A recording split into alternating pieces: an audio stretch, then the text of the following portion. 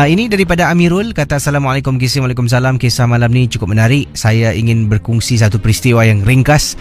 Ini berlaku ketika saya ada field camp uh, di sekolah saya dan uh, untuk dipendekkan cerita saya masuk dalam tandas. Saya nampak teman saya masuk salah satu cubicle. Jadi ada orang lah dalam tandas tu. Saya pun masuk ke dalam dan saya cuci tangan cuci muka sedikit kerana terlampau penat dan mengantuk.